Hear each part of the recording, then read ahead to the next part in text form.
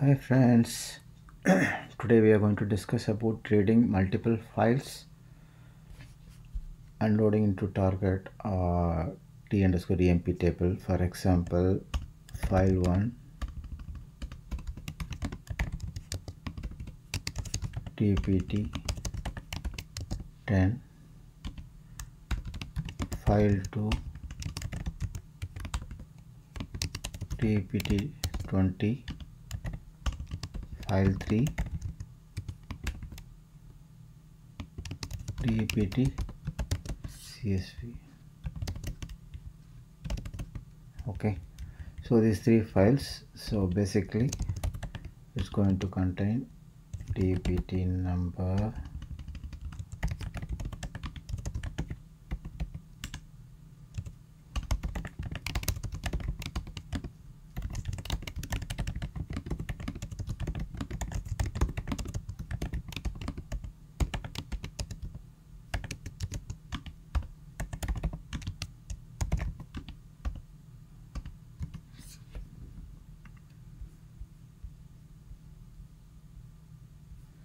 so file 1 will be having three records.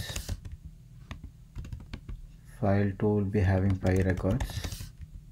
And file 3 will be having six records.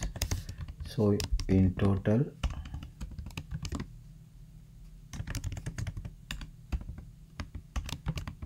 fourteen records will be loaded. So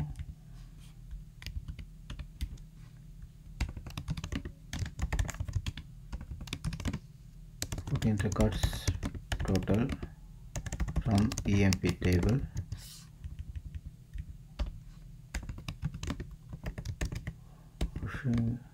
Into target t underscore emp table. Okay. So now let us try to create a one target table called t underscore emp select star from emp where 1 is equal to 2 so now the table got created. Now let us try to create a simple mapping.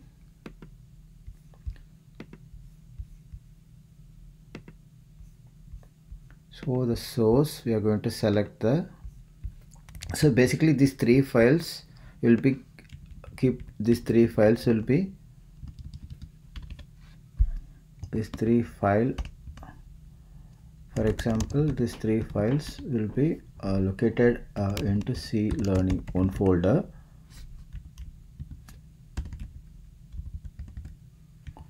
Okay. And emp data.txt under that file we are going to mention dpt underscore 10.csv dpt underscore 10 dot 20 dot csv and dpt underscore 30 dot csv file. Okay? The same location this three file also will be there with all these three three uh, uh, three records five records six records respectively in each file. Okay? So uh, so only thing is the source type we are going to select it as file list and we are going to point this empt data.txt but while run, running so each file will be read and and its corresponding record will be populated into the target table. Okay let us go back to the informatica cloud creating the mapping. The source i'm going to select the empt data. This is the source file ultimately. This is the source reference for file type so here the source reference. So the uh, source type is connection type is flat file and this empt data. See here this three file also located in the same location as i told before and this empt data .txt inside it uh, these three files are uh, pointed. And these three file is having the same structure of data. Okay that is the uh, prerequisite and that there should not be any difference on it otherwise it will fail okay? So i'm saying okay here. And that's it uh, here in this uh, okay but, but let us try to do a quick preview. But here this uh, format is differing. This hire date format it's better to use the expression transformation to convert it. So I'm going to introduce the expression transformation here under this expression transformation I'm going to create a variable port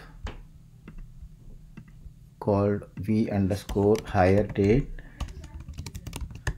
hire date. And this data type data type should be date time. Okay and I'm configuring and calling the input port from this one. Input port just hold on. Okay. Incoming field okay something is not good here. Okay. Let us try to preview again. Okay.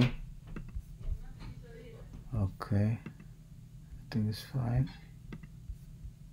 Uh, okay.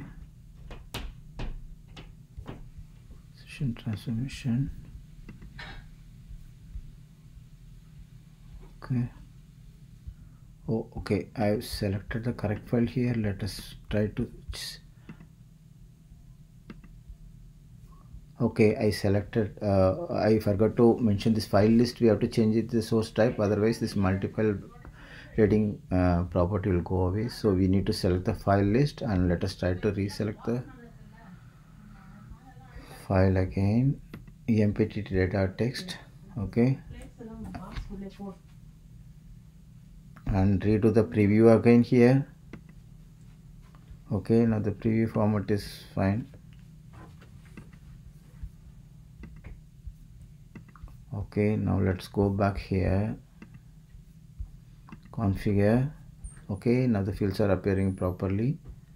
Okay now built in. Do the date format here to underscore date. Sorry uh, we have to do the conversion here because that is a character data type uh, we are uh, getting as input. You have to convert into to underscore date so that it will be a proper date format. Otherwise it will fail in the target loading. So let us try to select the field now here. Go back to the field section and select the hire date field. And before to that you select it okay and the format as we see here the format yyyy uh, mm dd hh24 mi that's it validate the expression and the variable port is ready. Now let us try to create an output port so that the output port will be pointing to the target.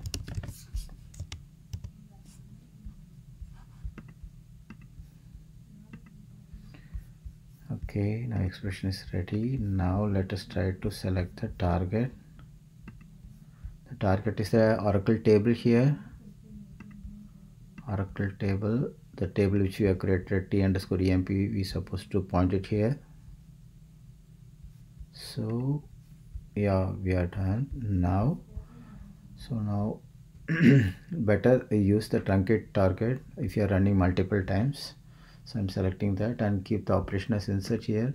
And now field mapping you just select the exact field mapping and only thing is this hire date you just replaced with this one. Because that is the uh, formatting change we have done part of our transformation expression transformation. Now it's all set. Now we'll try to oh, okay somewhere it's okay where is the error? It's showing up. Let us try to see the validation panel here. Yeah so specify an expression. So we forgot to specify the expression here. The variable port we didn't try to map it. Yeah correct. So let us try to add this one. Validate it. Yeah fine. Save this one. Yeah now the mapping is ready to run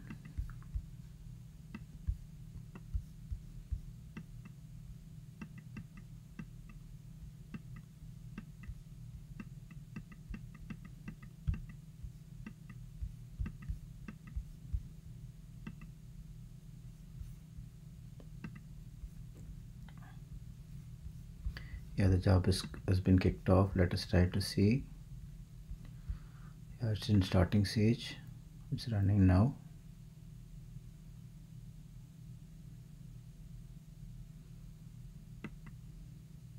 Yeah the job has been successfully ran. Now we can see the 14 records have been uh, read and 14 records have been loaded. Okay. So now let's go back to the SQL developer and run, run the query